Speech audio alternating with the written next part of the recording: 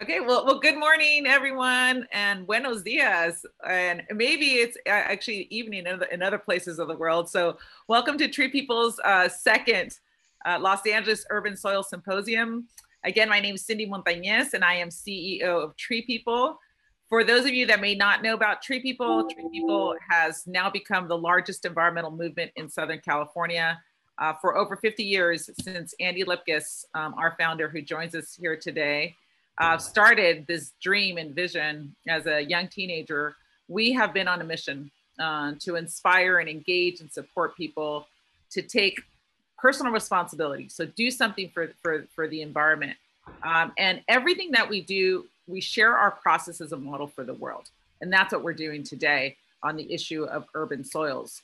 But first, um, I'd like to acknowledge uh, that the land that Tree People owns, manages, and stewards um, is on the ancestral lands of the Tongva, the Chumash, and the Fernandino Tataviam people, uh, the original stewards of our beautiful lands in the Santa Monica Mountains and throughout the Los Angeles area.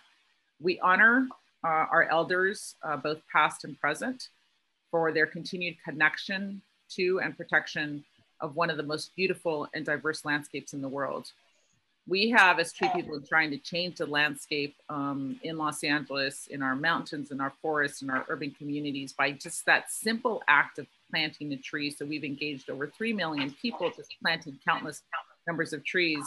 Uh, today, uh, we are going to focus on research, cutting edge research that we have always been leading um, and we've been doing throughout our work. The research today um, is going to show that soil truly is the foundation for the trees and water and communities um, in, in LA and beyond. So I just want to thank our funder, um, Accelerate Resilience LA. Um, thank you um, to our founder, Andy Lipkis. Um, Accelerate Resilience LA is a sponsored project of the Rockefeller Philanthropy Advisors.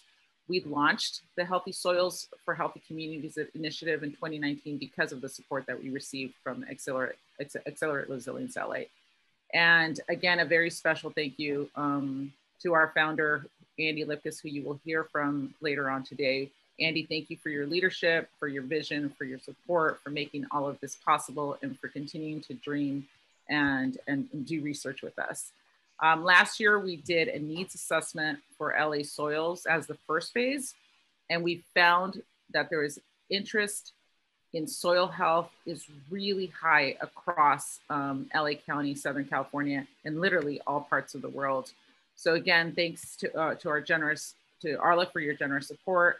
Um, we started the second phase this June to address uh, the identified needs with demonstration projects, with community engagement, development of best management practices, um, and a lot of strategic planning. So this symposium is an important part of our phase two uh, we're going to hear from tremendous experts on the latest, most cutting edge best management practices for urban soils, and all within the context of climate resilience. In particular, uh, with the climate crisis that we're facing, it becomes more urgent than ever to explore the potential that soils has as critical brown infrastructure and nature-based solutions for climate resilience and environmental justice within cities like Los Angeles, where there are millions of people that are um, at the front lines um, in these climate vulnerable communities.